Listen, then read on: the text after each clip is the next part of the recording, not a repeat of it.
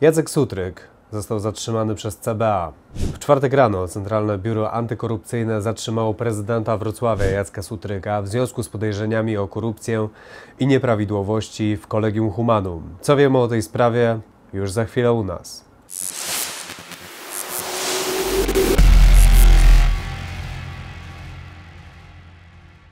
Ten kanał subskrybuje tylko 28% spośród ponad 2 milionów widzów, którzy co miesiąc oglądają nasze filmy.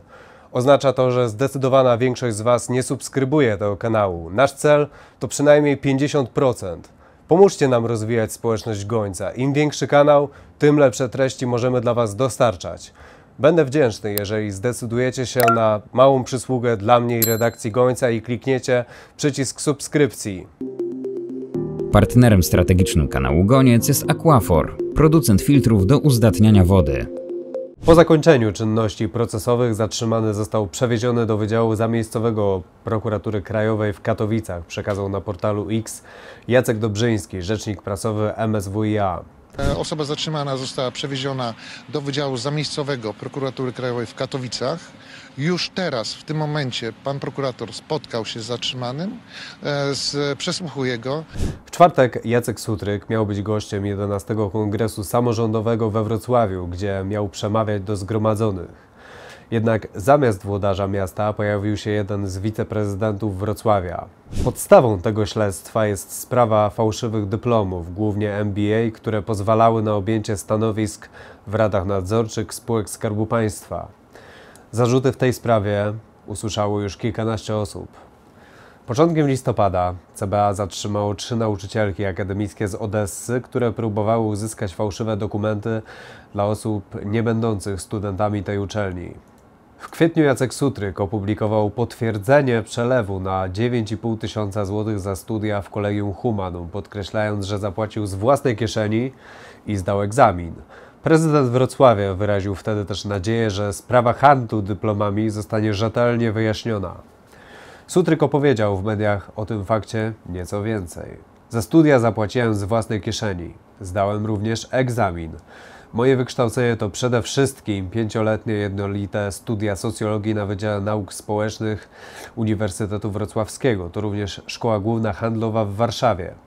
Liczę na to z pewnością jak setki, jeśli nie tysiące osób, że sprawa handlu dyplomami w Kolegium Humanum będzie skrupulatnie wyjaśniona, komentował wówczas. Samorządowiec obejmował też w poprzednich latach prezydenckim patronatem wydarzenia organizowane przez uczelnię Kolegium Humanum.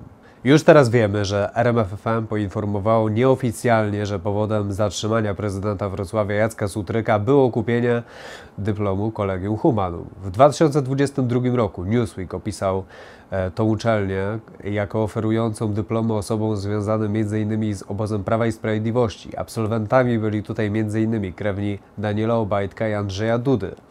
Program MBA był na tej uczelni najczęściej wybierany przez osoby zainteresowane stanowiskami w spółkach Skarbu Państwa. W lutym 2024 CBA zatrzymało 7 osób związanych z uczelnią oskarżonych o handel dyplomami. Były rektor Paweł C. usłyszał kilkadziesiąt zarzutów, a śledztwo wskazuje na udział w zorganizowanej grupie przestępczej.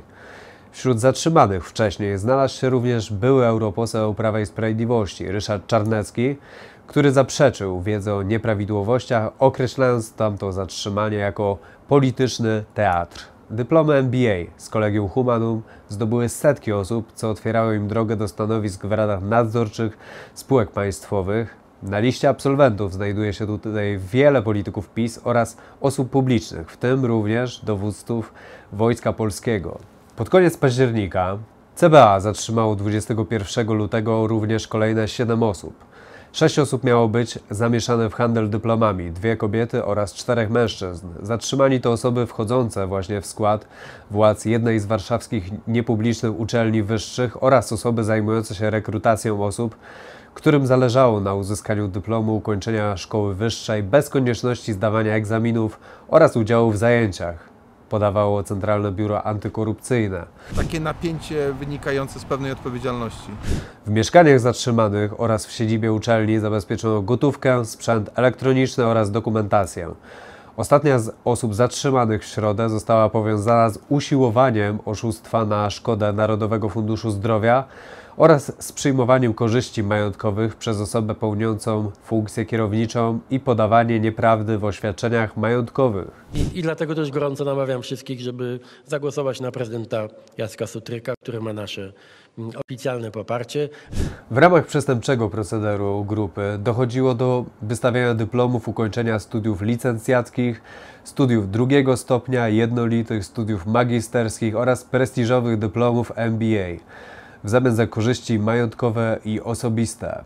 Teraz Centralne Biuro Antykorupcyjne i Prokuratura Krajowa kontynuują śledztwo w sprawie uczelni, które już wcześniej doprowadziło do zatrzymania kilku rektorów i profesorów z innych uczelni oskarżanych o przekupstwo oraz płatną protekcję. Co dalej? No tak. Yy, yy, co dalej? W kwestii prezydenta Wrocławia Jacka Sutryka został on ponownie wybrany prezydentem Wrocławia w kwietniu 2024 roku, pokonując w drugiej turze kandydatkę Polski 2050 Izabelę Bodnar. Poparcia udzielił mu sam Donald Tusk, mimo braku wsparcia ze strony lokalnych struktur Platformy Obywatelskiej. Jak potoczy się dalsza część śledztwa w sprawie Kolegium Humanum, mam nadzieję, że już wkrótce wszyscy się o tym przekonamy. Bardzo dziękuję. Nazywam się Wojciech Mulik. Oglądali Państwo komentarz Gońca. Dziękuję Państwu za uwagę. Do zobaczenia. Do usłyszenia. Partnerem strategicznym kanału Goniec jest Aquafor, producent filtrów do uzdatniania wody.